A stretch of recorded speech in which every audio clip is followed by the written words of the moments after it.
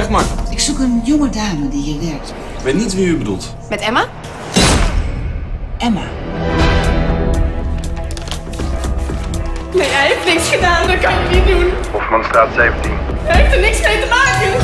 Over een uur. Ze wil je een aanbod doen. Ik had het geld bijna bij elkaar. Ik had het echt bijna bij elkaar. De keuze is heel simpel. Weet je, dit is een hele lucratieve handel. Behalve wanneer je klanten je niet afbetalen. Want dan blijf ik met de handelsruime maag zitten.